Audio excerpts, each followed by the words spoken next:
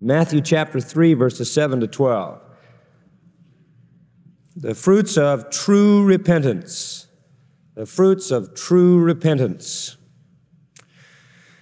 In our last study, we met the greatest man that ever lived, man by the name of John the Baptist.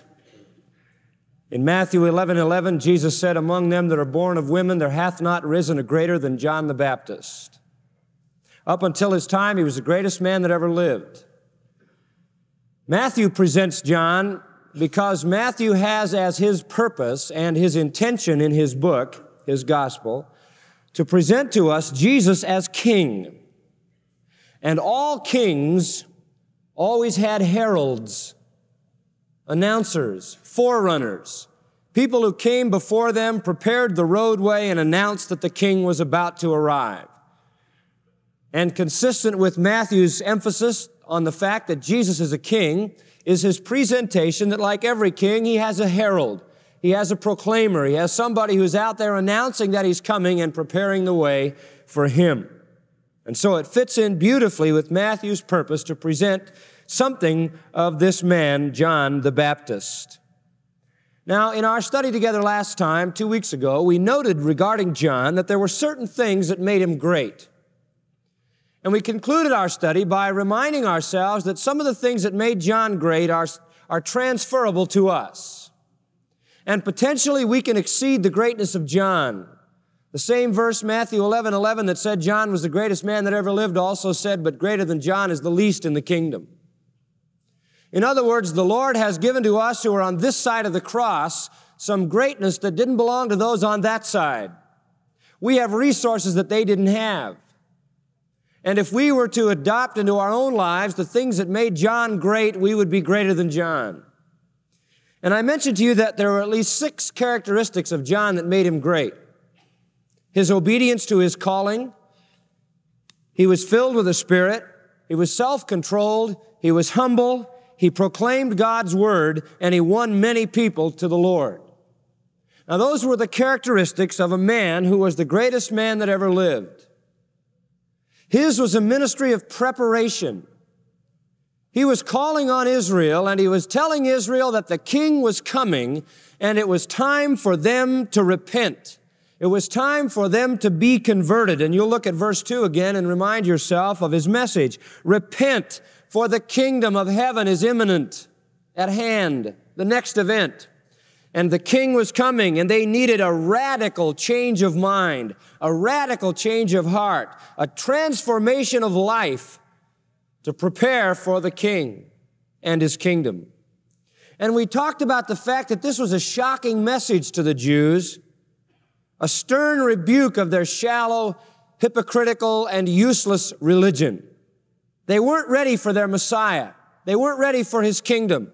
They weren't ready to be, be a part of that kingdom. In fact, at this particular point, they would be definitely on the outside.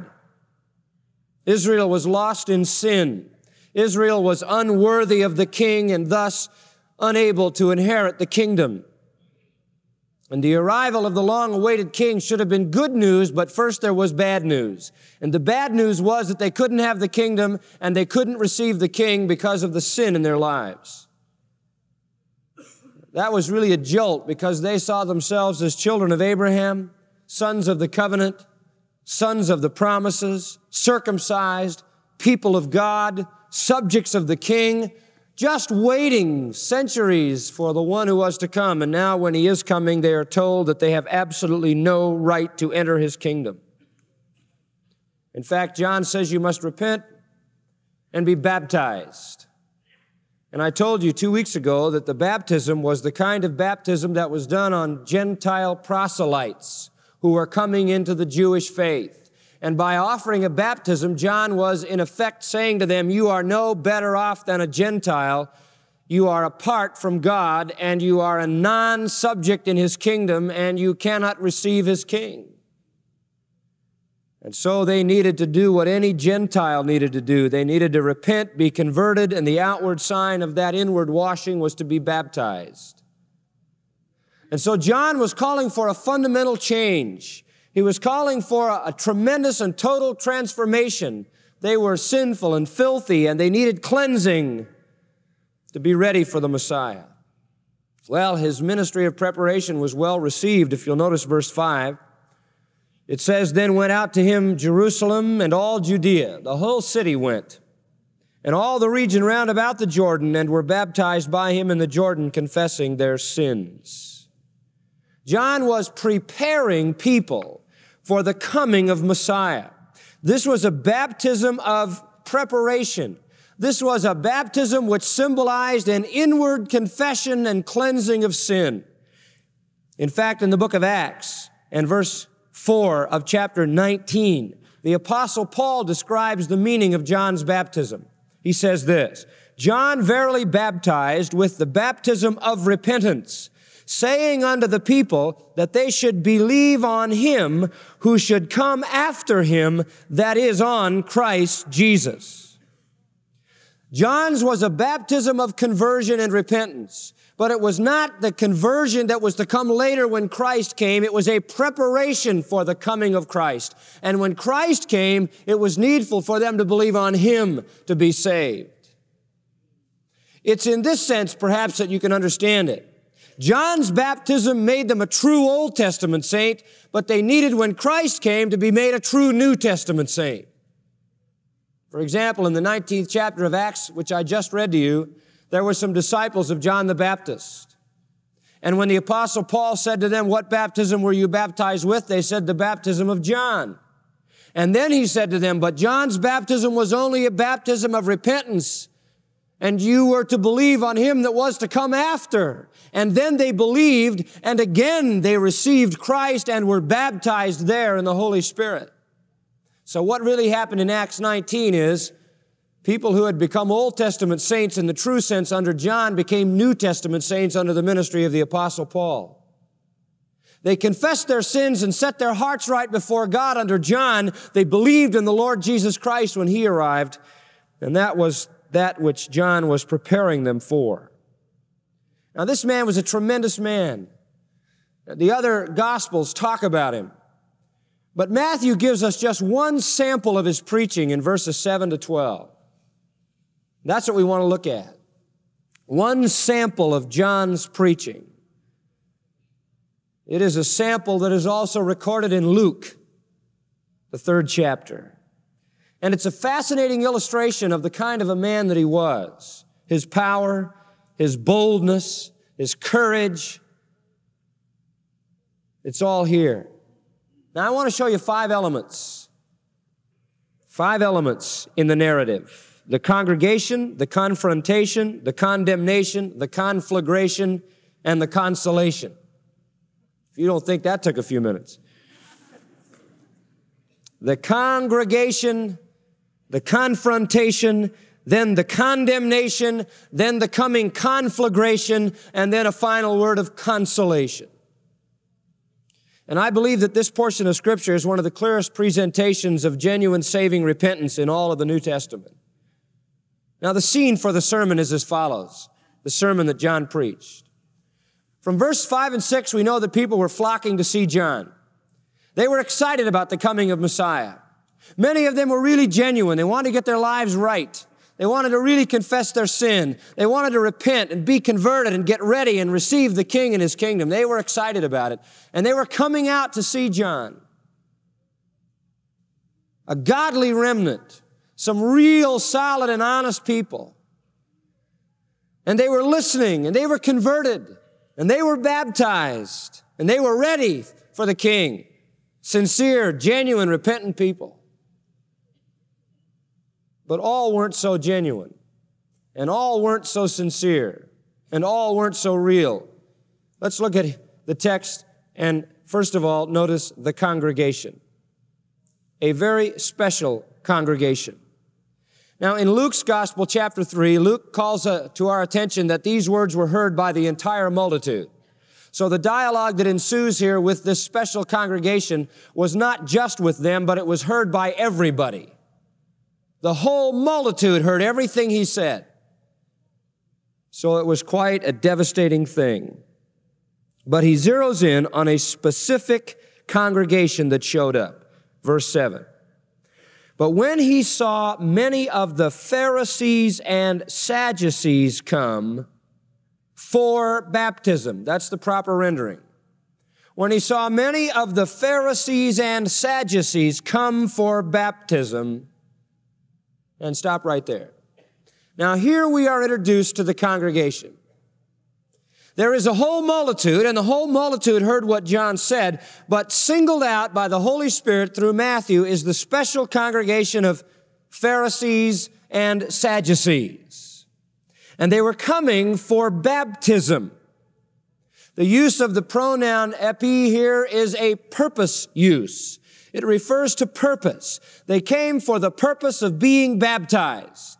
They were going to get in on this deal. And his response to them also indicates that they had come for baptism because he questions the legitimacy of their desires. But before we go any further, we got to find out who they are. Now, as you study the New Testament, the gospel records, you run constantly into the Pharisees and the Sadducees. Sometimes they are designated as the chief priests and elders, but usually those people were either Pharisees or Sadducees. Who are they? Why did they come? Were they sincere? What was really on their minds? Judaism, for the most part, at that particular time, had three special little sects or groups within it. Three that kind of had a special little emphasis. Group number one, and the most familiar to us, was the Pharisees, and they were the largest in number. Group number two uh, was the Sadducees, and group number three, and we know very little about them from the New Testament, although archaeologically we've discovered some interesting things about them. The third was the Essenes, E-S-S-E-N-E-S. They, the reason we don't know much about them is because they lived way out in the desert, and they were sort of like hermits. It was their copying of the scriptures that left us with the Dead Sea Scrolls. We had the Pharisees, the Sadducees, and the Essenes, and they were pretty much the most well-known sects or groups within Judaism. Now, the ones that are important in the gospel record because they were in the mainstream of Jewish life were the Pharisees and the Sadducees. Now, as to when they arose in the scene, we really don't know. It's very obscure, very difficult to find out when they first began, either one of them. But let's jump in at the point of the Pharisees and see if we can't reconstruct who they are and where they came from. They were successors to a group known as the Hasidim. H-A-S-I-D-I-M, if you want to write it down. Hasidim. Now, the Hasidim means the pious in Hebrew. The pious or the saints. Now, I'm going to give you a little more history. We're going to get a lot of this in Matthew, so you might as well get used to it. There's a period between the Old and the New Testament, right? Remember that 400 year period? Prophetic silence. It's called the intertestamental period. Now, during that period, we have some fascinating history, and we have a lot of information about that history uh, of that period because of some books that are called the Apocrypha. They're not inspired books, but they are books that give us a little information about history. Now, during that 400 years, Greeks ruled in Israel. All right? This was the time of the great Greek Empire. And the Greeks ruled in, in Israel. It was also the period of time when the Jews got really upset about the way the Greeks ruled. And you know about a man named Antiochus Epiphanes, who was a Greek ruler in Israel, who was a horrible guy. You know, he went in there and slaughtered a pig on the altar and stuffed the pork down the priest's throat, which was a bad, bad thing to do, believe me, if you wanted to incite Jewish people. The Bible had forbidden them to eat pork, and he made a mockery out of it. Well, during the period of Greek rule, there arose in Judaism a group called the Hasidim. These were the pious, the dedicated, the devout, the consecrated, the spiritual ones. And they literally despised Greek culture and they despised Greek customs. They wanted to adhere steadfastly to the principles of Judaism. They were devout and pious and they were also super patriotic. In fact, they aided and abetted the Maccabean revolution. When Judas Maccabeus, who was a Jew, and his sons got a, a revolt together, boy, they were in support of that revolt. They were part of the heroic struggle. Because at first, the Maccabean revolution was propagated basically by religious conviction. It was propagated because in their hearts, those Jews felt this was a desecration of the sacredness of their religion and their land.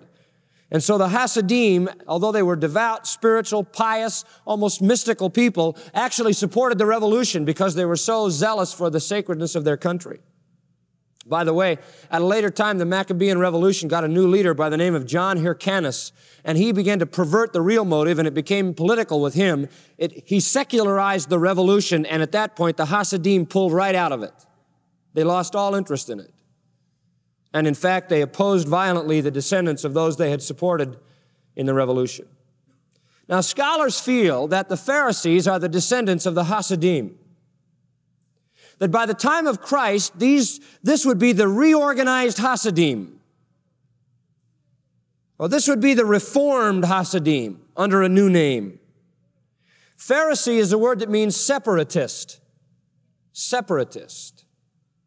And they were really separatists. They saw themselves as the, the most devout. We used to say that the Pharisees were looking for a vacancy in the Trinity.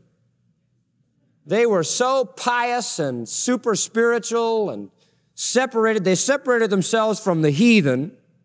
They separated themselves from publicans, tax collectors. They separated themselves from sinners. They separated themselves from Jewish people who were even indifferent to their causes. And they dubbed the multitudes within Judaism the people who do not know the law, John 7 49 says. They looked at them with disdain. They separated themselves from everybody who wasn't what they were. They were isolationists. Uh, they didn't want to become contaminated or defiled by associating with anybody or anything that was in any way ceremonially unclean. Now you see what had happened. It all started out kind of okay with the Hasidim, but by the time it got to the reorganized Pharisees, they perverted everything and there was no inward life left. There was no real devotion. There was no real consecration. There was no real piety. There was no real godliness. It was all an external phony deal to set themselves above everybody else as the real super spiritual people. They were literally fanatics at self-righteousness. They withdrew themselves, Luke 7 39 says, from all sinners. And they tried to condemn Jesus for, for even going near sinners. You remember that? They blasted him for hanging around drunkards, wine bibbers, and sinners, and any, any of those kinds of people. They tried to force Jesus into their same kind of fanatical self righteousness. The historians tell us that when they returned from the marketplace, they immediately performed a series of washings before they would ever eat anything, Mark 7, verse 4.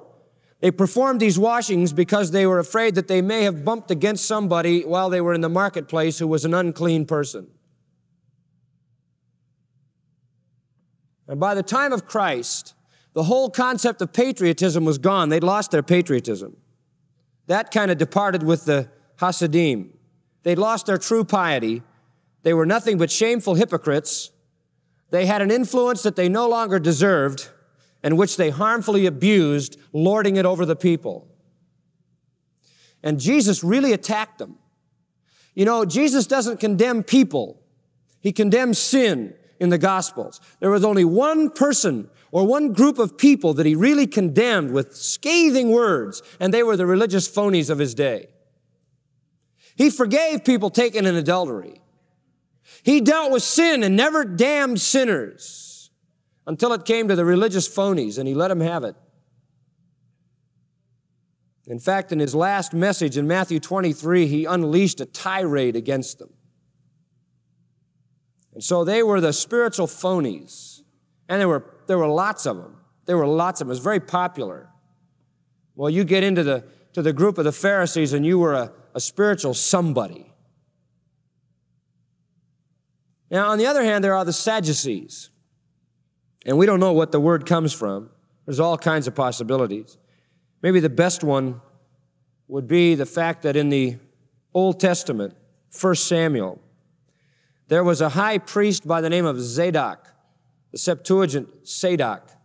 And some feel that they took this name Sadoc and from it they got Sadducee because they were basically the high priestly class. We don't know that that's true. That's a good guess, I guess.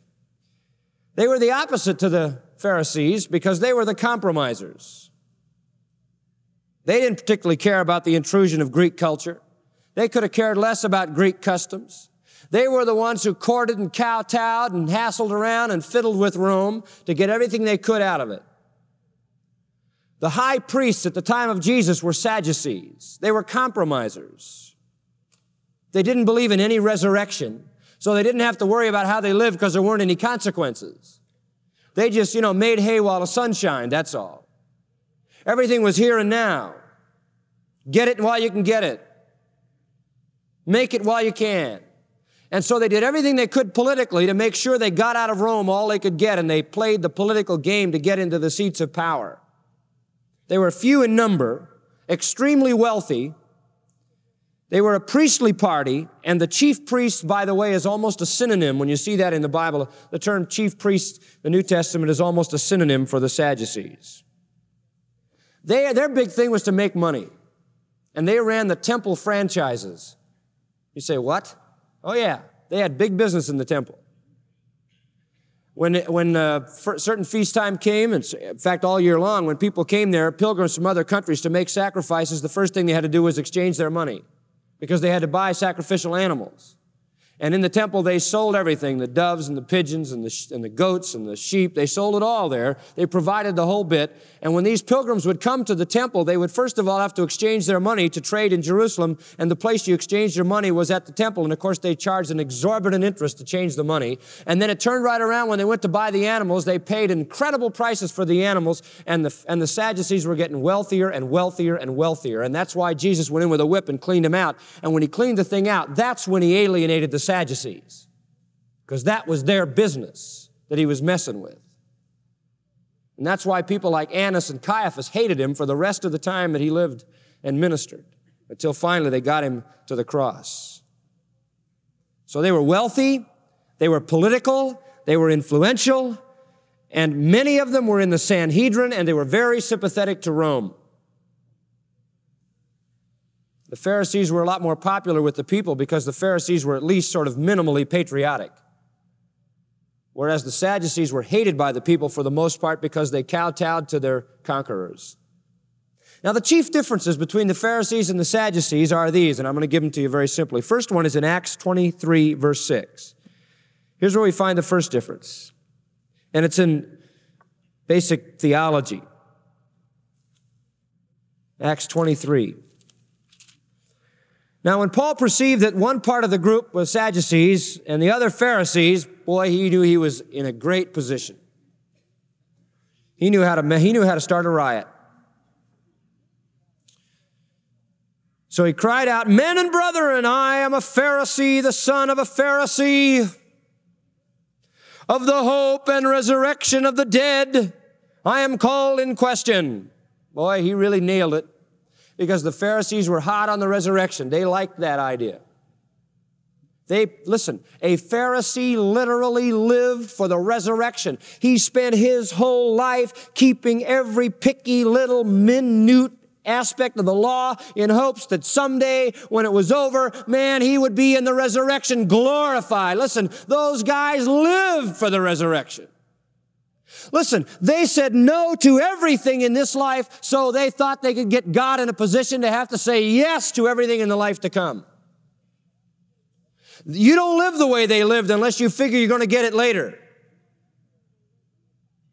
They lived against rule after rule after rule after rule, hoping to make it in the next world. On the other hand, the Sadducees didn't even believe in the resurrection, so they just made it while they could.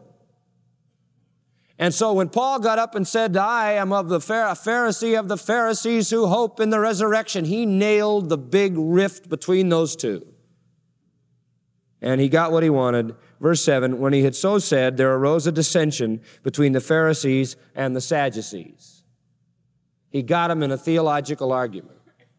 And the multitude was divided. For the Sadducees say there is no resurrection. And as I told you before, that's why they're so sad, you see.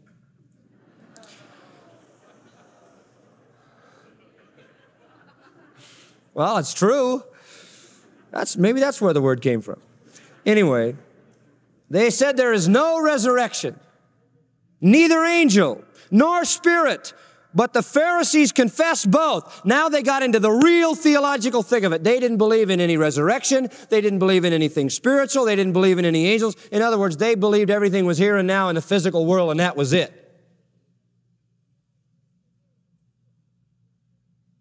And so they had this big fight. They contended sharply, it says in verse 9. So the chief differences were religious. First of all, they differed over eternity the future. Secondly, they had a different view of Scripture. This is most interesting. The Pharisees recognized, now watch this, two standards of divine truth. Two standards. One was the Old Testament, and the second was oral tradition.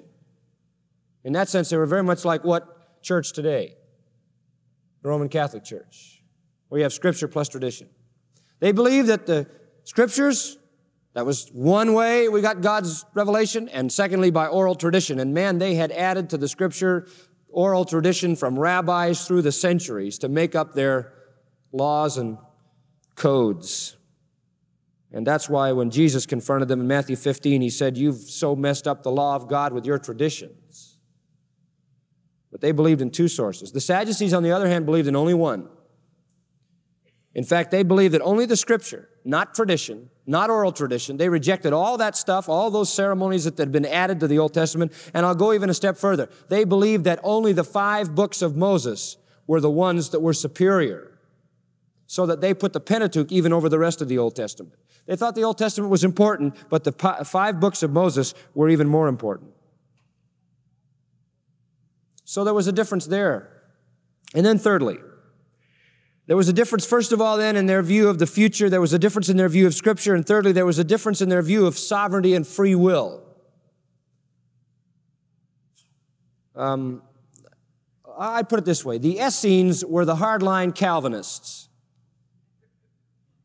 There weren't any Calvinists in those days because Calvin wasn't born yet. But the Essenes were the hardline sovereignty. No freedom. You don't have any choice. It's all bang, bang, bang, bang. God all laid it all out. Nobody's got nothing to do with nothing. No freedoms. On the other hand, the Sadducees totally rejected a divine decree, and they were the ancient Arminians. They said it's a big free for all. God's just up there saying, Boy, I hope those folks will do such and such. In the middle of the road people were the Pharisees. They believed in divine decree and man's freedom. So this is just another place where they differed. They wanted to hold for a decree, the Pharisees did. The Sadducees, not at all. Well, that just gives you a little bit of distinction. And this is why it's so amazing. Now, get this. Do you realize that all throughout the history of the Pharisees and Sadducees, they never had anything in common except their mutual hate of Jesus Christ? Amazing. That's what got them together. And once Jesus Christ got on the scene, even when his forerunner got on the scene, John the Baptist, they got together because they saw somebody and a message that was a threat to their security. By the way, the Sadducees faded out of existence in 70 AD. When the destruction of the temple came, the Sadducees just faded out of existence. The Pharisees com- popping back a little while after, and they are basically responsible for redevising what is today known as reconstituted Judaism. They're the ones who kind of put it all back together again after the destruction of the temple. Now, let me summarize.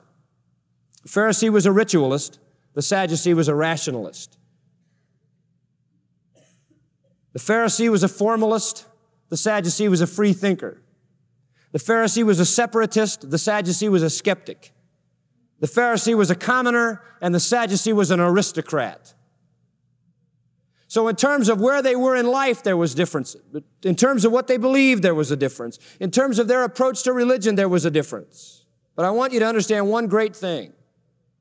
Though they differed, they were yet in perfect agreement on one thing. And that one thing is this, that you by your own works earn whatever you're gonna get. See? To the Sadducee man, it's all here and now, so get out there and get it any way you can get it. To the Pharisee, it's all in the afterlife, but the way you get it there is to work like mad here with self effort. So you got the Sadducees working like crazy to get it now, and you got the Pharisees working like crazy to get it later. And on that they agreed. Whatever you get, you get by working for it. Self effort. And so religion for them was self effort, externalism. And all of a sudden, here comes John the Baptist. And John the Baptist is out there and he's saying, You know what really matters? Your heart. What's inside matters. And boy, that was it. They hit the wall. Their emphasis was on the outside. His emphasis was on the inside. Their emphasis was on the outside. Jesus' emphasis was on the inside. And Jesus said to them, on the outside, you're all whitewashed, and on the inside, you're full of what? Dead men's bones, and you stink. You whited sepulchres, you whitewashed graves. You see, Jesus exposed the Pharisees for their externalism. In Matthew, let me just read you Matthew 23 23. Woe unto you, scribes and Pharisees, hypocrites! You pay tithe of mint and anise and cumin. You know what that is? Herbs and plants and seeds. Man, if they had 10 seeds, they dropped one little seed in the offering. They were really picky. But he says you omitted the weightier matters of the law, like justice and mercy and faith. You're great on seeds, but lousy on justice, mercy, and faith. You're all external. You blind guides who strain at a gnat and swallow a camel. Woe unto you, scribes and Pharisees, you hypocrites! You make clean the outside of the cup and the platter, but within are full of extortion and excess. Whew. So Jesus really nailed them. And he did the same thing to the Sadducees with a whip when he threw them out of the temple. And he alienated both groups. They hated Jesus, they despised Jesus, and according to Matthew 27 18, the Bible says they envied him. They were jealous of him.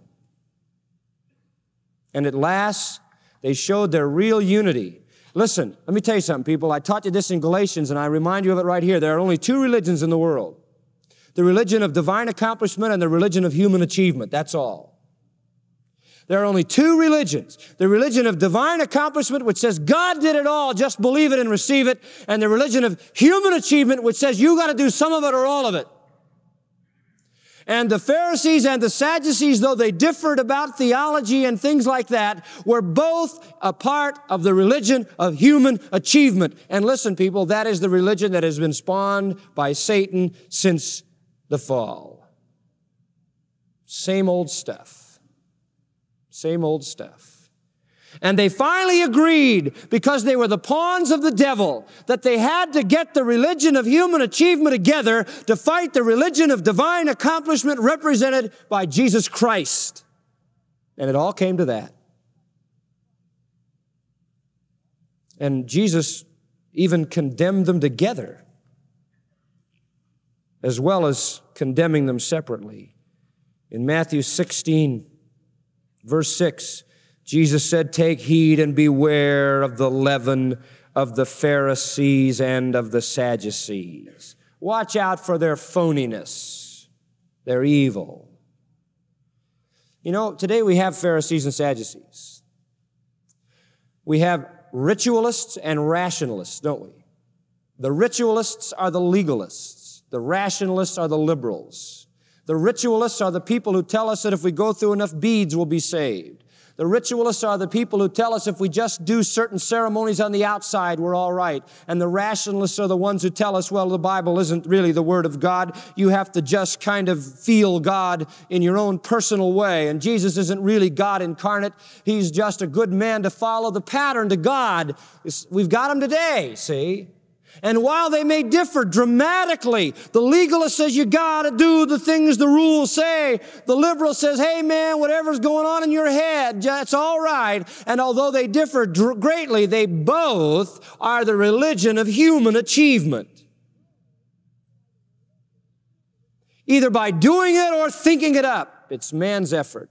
Same old stuff.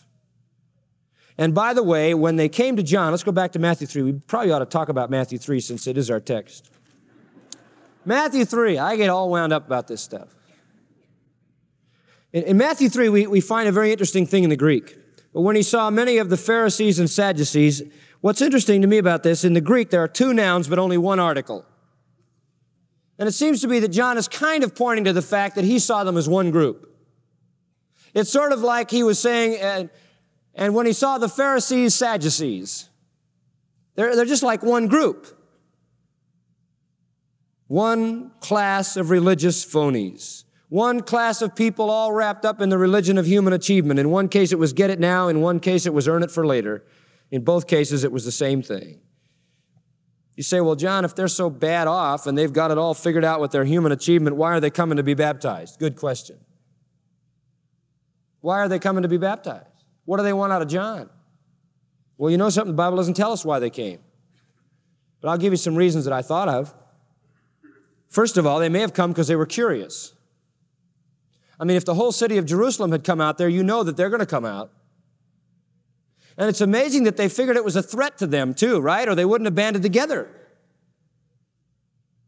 Or at least we assume they were together because they appear together so frequently following this.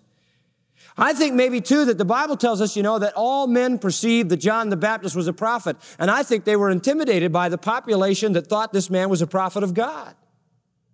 And maybe they even had some real questions because they had prophetic silence for 400 years. Maybe they figured that maybe the people are right. Maybe the guy's a prophet. We certainly can't stay in here and be ignorant while everybody in town's running out to find out about him. We got to find out about this guy. And so, under the pressure of curiosity and the pressure of the people believing he was a prophet, they showed up. And I got another thing too. I think maybe they figured if they didn't join the people, they might get left out, and then the people would know something they didn't know and they might lose their influence. And I think also that they probably wanted to get in on the movement so they could move to the top and take it over. Listen, that's an old one. We got that in Christianity today. We got all kinds of people running churches and running organizations in Christianity who aren't Christians. Satan moves his people in. The Apostle Paul told us that beware, because when I leave, grievous wolves shall come in, not sparing the flock. Watch out for false teachers. Watch out for false apostles. Watch out for the people who want to come in and take over the church. False leaders. They wanted to get in on it. If this was a movement that was going to make a difference, if this was a movement that was going to capture the people, then they were willing to stoop to conquer. Well, you can see they were all the wrong reasons. There was no real repentance. There's no real repentance. No real confession of sin. No honest spirituality no real search for God, no real heart rending sorrow, no desire to get a heart that was sinful, righteous, to get ready for the coming king and his kingdom.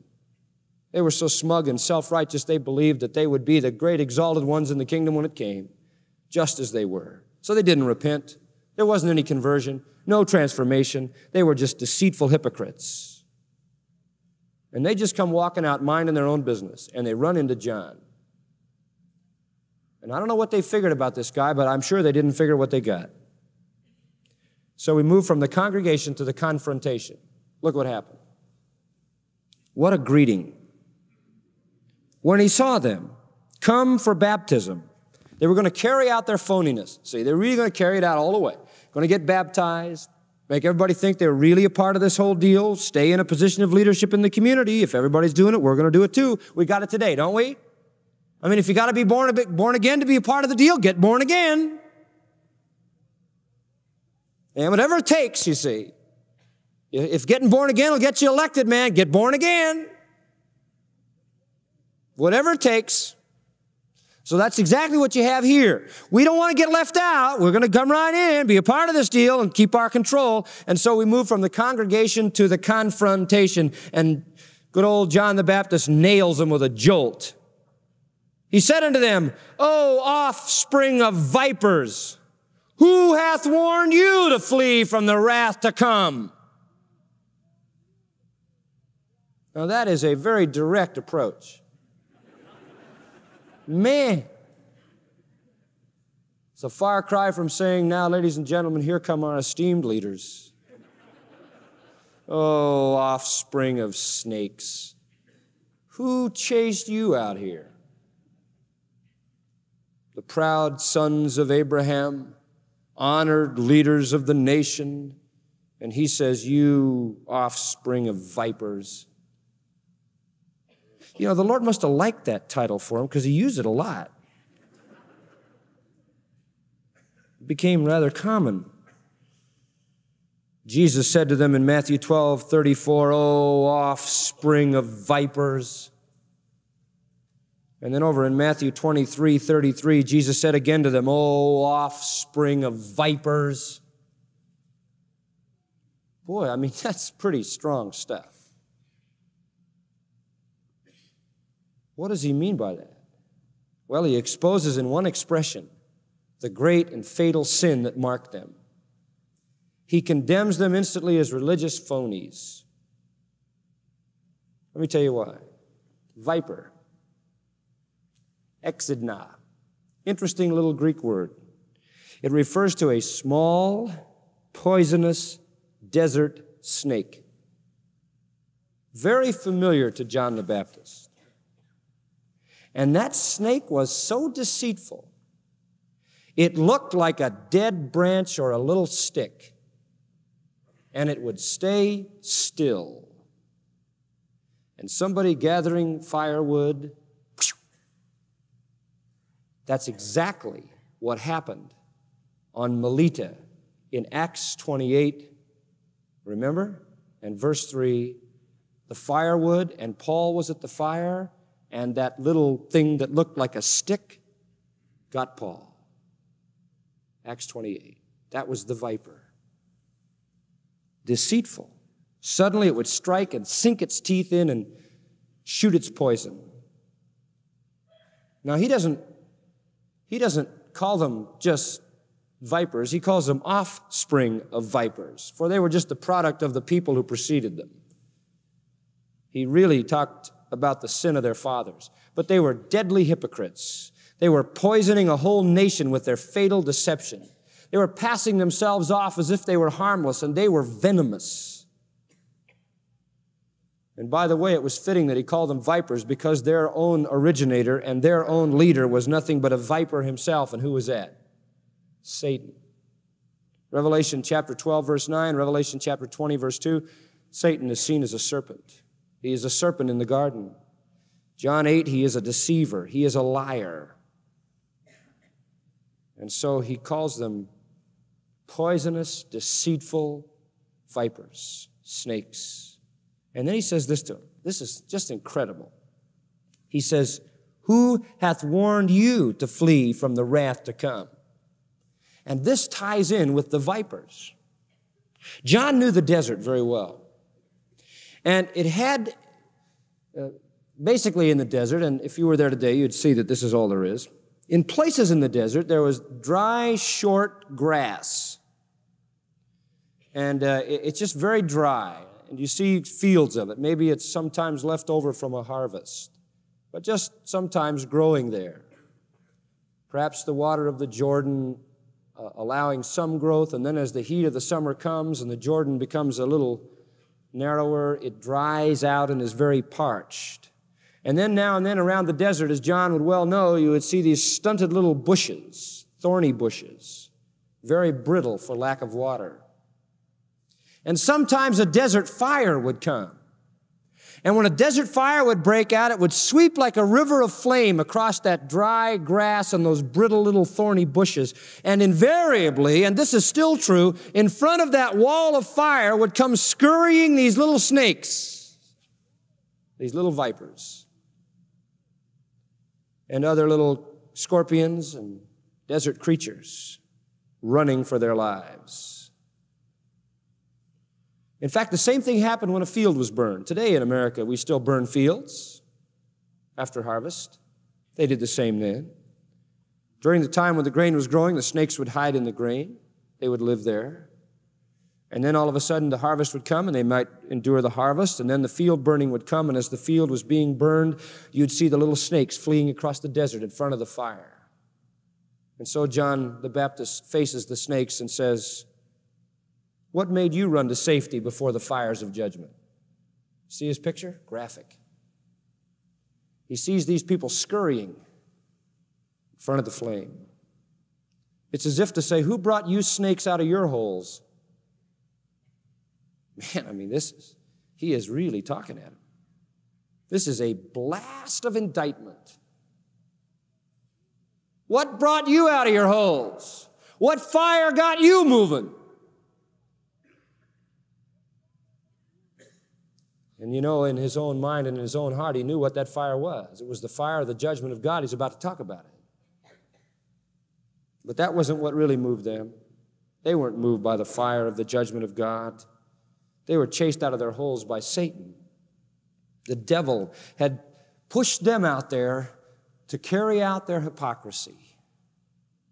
And just like snakes scurrying before a fire, they were running out there as chased by Satan. They should have been running out there, running from the wrath of God with real repentance. Notice that phrase at the end Who hath warned you to flee from the wrath to come? And there, John pulls the thought together. It was the wrath of wrath to come that he was talking about. By the way, the word wrath occurs 300 times in the Old Testament, many times in the New Testament, refers to God's judgment. Who warned you about God's judgment? And in their hypocrisy, you know, they might have thought, oh, we're coming with everyone else, you know. But they weren't really running from God's judgment because they never really faced it. And so he indicts them. This is a confrontation. He says, You snakes, you phonies, who really chased you out here? In your pretense to be running from the wrath to come?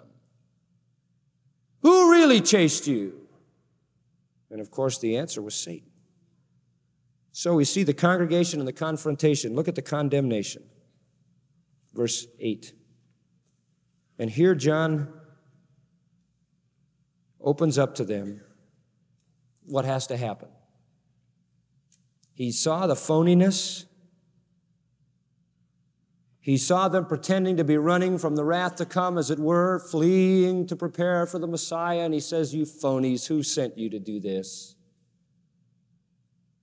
And he recognized their phoniness, and so he gives them a true statement, a way that they can prove their genuineness. Verse 8 Bring forth, therefore, fruits befitting repentance. Listen, if you're really running from the wrath of, to come, if you're really snakes scurrying before the fire, then let me see the fruit of your real repentance.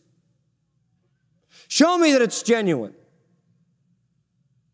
And what are the fruits of repentance? A transformed life. That's the fruit of repentance. In Acts 26 20, it says, the Apostle Paul, replying to King Agrippa about his ministry, said that he was going throughout Damascus, Jerusalem, the borders of Judea, then to the Gentiles, that they should repent and turn to God. Now listen, and do works fit for repentance. You have the fruit of repentance here. You have the works of repentance in Acts 26. What are they? Look at Luke 3, and I'll show you. Same speech by John as recorded by Luke.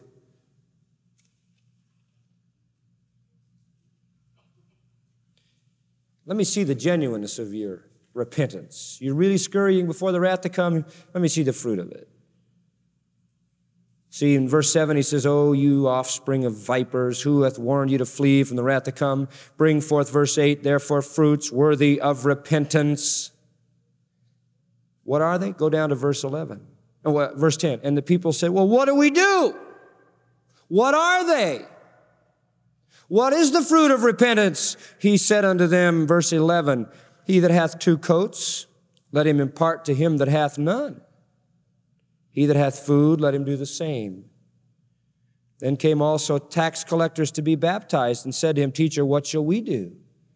He said to them, Exact no more than that which is appointed you.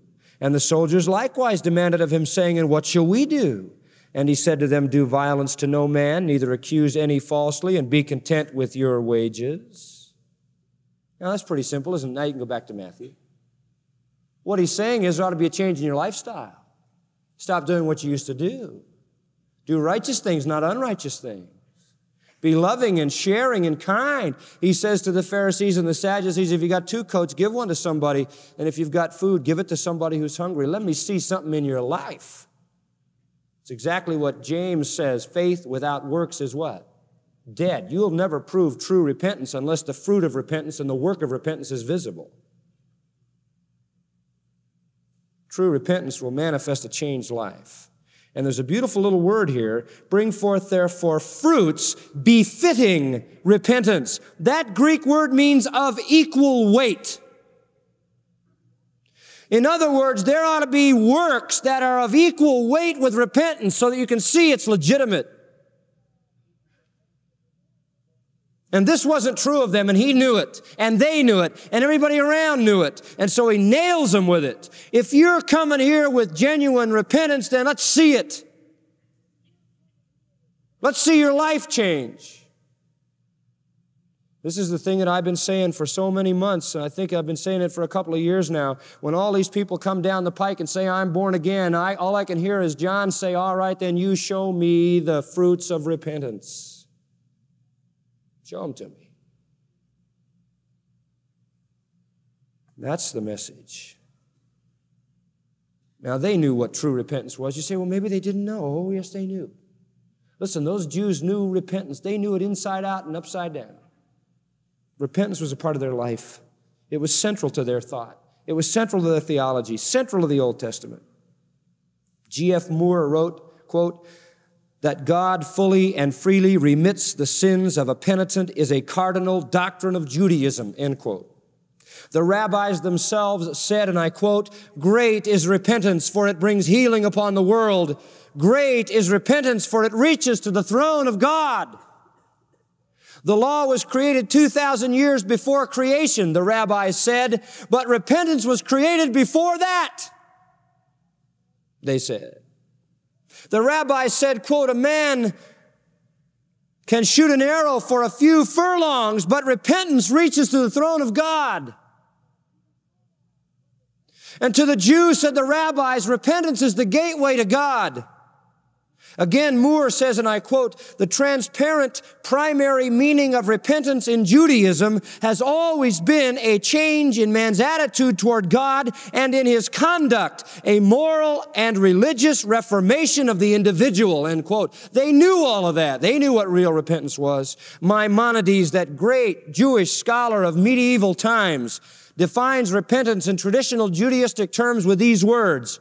What is repentance? Repentance is that sinner forsakes his sin, that the sinner forsakes his sin, puts it out of his thoughts, and fully resolves in his mind that he will never do it again. End quote. They've always had that view. The Old Testament was literally loaded with words calling the Jew to repentance, to changing his life, to eliminating sin, and in its place, establishing righteousness. Jeremiah chapter 33 and verse 18. And I'm showing you this to let you know that they were responsible. They knew. Yeah, let's, let's try Ezekiel 33, 18. I knew it was one of the two. Yes. When the righteous turneth from his righteousness and committeth iniquity, he shall even die for it. But if the wicked turn from his wickedness and do that which is lawful and right, he shall live by it. Listen, they knew what the standard of God was. There was never a question about it at all. Turning from sin, turning to God. Hosea 14, 1, O Israel, return to the Lord thy God, for thou hast fallen by thine iniquity. Take with you words and turn to the Lord. Take away all iniquity and say unto him, Take away all iniquity and receive us graciously. That was part of their whole history. The little prophecy of Jonah, that wonderful record. Chapter 3, verse 10, and God saw their works that they turned from their evil way, and God repented of the evil that he had said he would do unto them, and he did it not. You want to know something wonderful about that verse? That it says that God saw their what? Works. You know how God evaluates repentance? Listen to me. You know how God evaluates repentance? By what? Your works, your fruit. It doesn't say God read their thoughts. It doesn't say God heard their prayers. It says God saw their works. In fact, the Jewish teachers used to teach that one of the most important verses in the Old Testament was Isaiah chapter 1, because in it, in verse 16, were the nine norms of repentance. Wash yourselves, make yourselves clean, put away the evil of your doings from before mine eyes, cease to do evil, learn to do well, seek justice, relieve the oppressed, judge the fatherless, plead for the widow. That's a fabulous thing. Do you see how it all starts? First, you wash yourself and you make yourself clean and you put away evil from before your eyes and you cease to do evil. And then you learn to do well and then you seek justice. You see, it starts inside and then it works outside and then you receive the, relieve the oppressed and judge the fatherless and plead for the widow. And it all winds up in works, things you do to manifest it. Listen, the Jews knew repentance. They knew it not as a sentimental sorrow, but as a real transformation of life. They knew it. They knew what it was. And they knew they were phonies. The Pharisees and the Sadducees should have known the fruits of repentance. They should have known the works of repentance. And so says John the Baptist to them, Bring forth therefore fruits befitting your repentance. If you're here for real to be baptized, then let's see it. Let's see it. Repentance, said the rabbis, is like the sea. A man can bathe in it any hour. And you know, I couldn't help but think of that as I was looking at this verse. Do you realize that verse 8 is actually an invitation? At the same time that it's an indictment, it's an invitation. He says, Come on. I'm giving you the opportunity. Bring forth fruits befitting repentance. The rabbis used to teach that the gates of repentance never close. Such is the mercy of God that he will receive even secret repentance. Rabbi Eliezer said, and I'm quoting, It is the way of the world when a man has insulted his fellow in public and after a time seeks to be reconciled to him that the others say, You insult me publicly and now you would be reconciled to me between us two alone. Go bring the men in whose presence you insulted me and I will be reconciled to you. But God is not so. A man may stand and rail and blaspheme in the marketplace, and the Holy One says to him, Repent between us two alone, and I will receive you. I'll never forget an occasion in my life, years gone by, where a man who was a, in the ministry publicly condemned another man in the ministry widespread. I won't mention who, but you would know. Just condemned him from one end of the country to the other. The man who was condemned went to the other man and said, If I've offended you, I'm sorry. Would you accept my repentance and give me your forgiveness? And the man, I heard him with his own lips say this, said to him, I told that guy, You have publicly made an issue and you must make a public repentance before I'll forgive you. That's the very opposite of the way God works. Aren't you glad for that? The rabbis always felt that God would take a man, no matter what he'd done in the marketplace, and if he repented, God would forgive him in private, if no one ever knew. He didn't have to go back and set all the records straight. And so these Pharisees and Sadducees, they knew that. Repentance was extended to them. The opportunity was there, it was available. But John went further because he knew they wouldn't take it. He knew what they were thinking. He said, And think not to say within yourselves. Boy, don't you hate it when somebody reads your mind? Whew. Think not to say within yourselves. We have Abraham as our father. For I say unto you that God is able of these stones to raise up children unto Abraham. Big deal. You have Abraham as your father. God can make a child of Abraham out of a rock. You're not so hot. Now, this, he says, stop presuming on your descent from Abraham as a passport to heaven.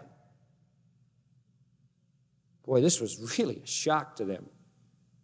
Do you realize that Orthodox Jews believed that they were saved by their Jewishness? I'm sure you know that. The rabbis said, quote, all Israelites have a portion in the world to come. They believed it. They talked about, listen to this, they talked about the delivering merits of the fathers. The delivering merits of the father. They had their own Jewish treasury of merit. Another thing the rabbis taught was that Abraham sat at the gates of Gehenna and hell to turn back any Israelite who happened by chance to come that way. They said that it was the merits of Abraham which enabled the ships to sail safely on the seas, that it was because of the merits of Abraham that the rain descended on the earth, that it was the merits of Abraham which enabled Moses to enter into heaven and receive the law, that it was because of the merits of Abraham that David's prayer was heard. Even for the wicked these merits sufficed. They said, if my, if thy children were mere dead bodies without blood vessels or bones, thy merits, O Abraham, would avail for them. And it's just that spirit that John is rebuking. A degenerate person cannot claim salvation on the basis of a heroic past. An evil son cannot plead the merits of a saintly father. They were trying to hold on to their nationality. They were dead wrong.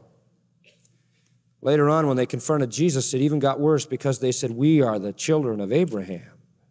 You can't talk to us like this. Abraham is our father. And Jesus answered and said to them, Abraham, if you were Abraham's children, you would do the works of Abraham. See? We're right back to works again, the fruit of repentance. But now you seek to kill me, a man that hath told you the truth, which I heard of God. Abraham didn't do this. And then he went on to say, frankly, you are of your father, whom? The devil. That's your father, not Abraham. No religious attainment, no birth is going to deliver them. Do you know something very interesting to me? Do you know that the rich man in hell, in the story that Jesus told about rich man and Lazarus, remember that?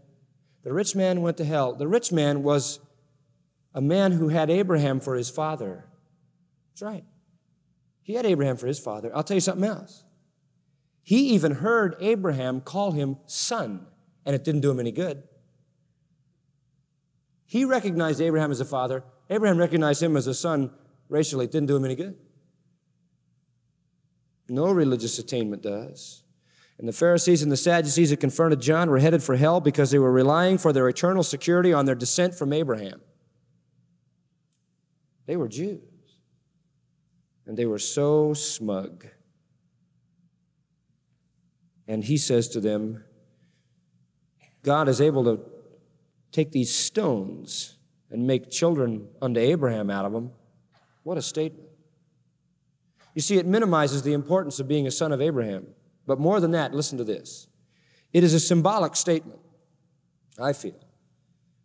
If these Jews, now watch, if these Jews, by turning their hearts to stone, in resisting God's converting grace, if they wish to do that, if they wish to turn their hearts to stone, then God will take stones, lifeless, useless, dead things, and make them into his sons. And I believe those stones are symbols of the Gentiles. If you want to turn into rocks, dead, lifeless, and useless, then I'll take the dead and lifeless and useless Gentiles and turn them into sons. In chapter 8, verse 10, Jesus said the same thing. He met a centurion servant who was a Gentile. And he saw and he listened and he marveled. And he said, Verily I say unto you, I have not found so great faith. No, not in Israel. I never met a son like this. And here's a rock that I can turn into a son. Now I say unto you that many such Gentiles shall come from the east and the west and sit down with Abraham and Isaac and Jacob in the kingdom of heaven. But the sons of the kingdom, the Jews, shall be cast out into outer darkness. There shall be weeping and gnashing of teeth. If God finds a son who's become a rock, he'll find a rock that he can make a son out of. And so John confronts them and condemns them. And then in verse 10, and we'll just read it and pick it up next time, he says, Now also is the axe laid at the root of the trees. In other words, the guy who's going to chop down the trees has laid his axe beside the tree to be destroyed. Now he really gets serious. And we'll cover that next time. Let me ask you this as we close. What are you trusting? What are you trusting for your salvation? The Pharisees, they trusted their works, their self righteousness. They were good. They kept all the religious rules. The Sadducees, they were just going to make hay while they could right now. They weren't worried about the future, it was all here and now. But together they were smug because they felt that they had inherited the right. After all, they were the sons of Abraham. You know, I hear that from people today, only it's this way. Why? I'm such a, I'm basically good. God would never do that to me. Why, send me to hell? He'd never do that. And the axe is already laid at the root of their tree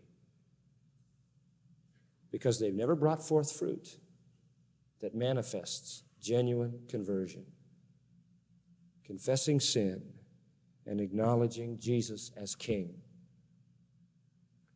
Let's pray.